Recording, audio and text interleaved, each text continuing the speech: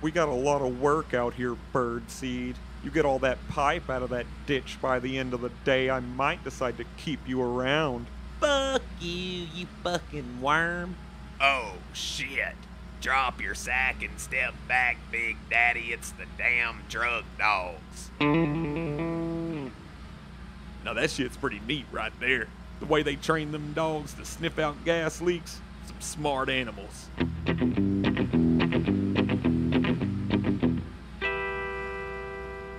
False alarm, Big Daddy.